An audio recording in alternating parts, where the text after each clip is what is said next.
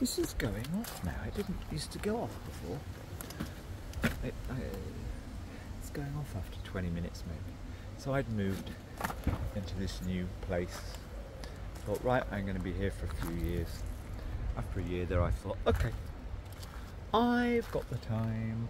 I'm stable in this place. I wasn't planning to be, but I'm going to go to the doctor and see what, if anything, can be done about this.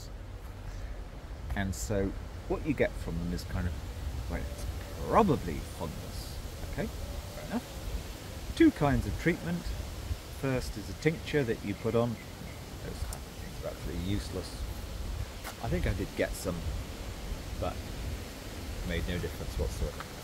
Other treatment is a medication.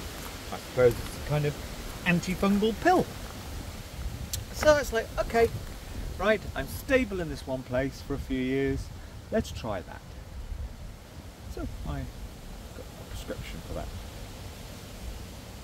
I can't remember what happened, but a few weeks later, maybe I had to go back to, have it monitored or something. And for some reason, the prescription had been written out by the not quite official doctor, but surgery nurse or whatever. I remember well. Somebody, despite being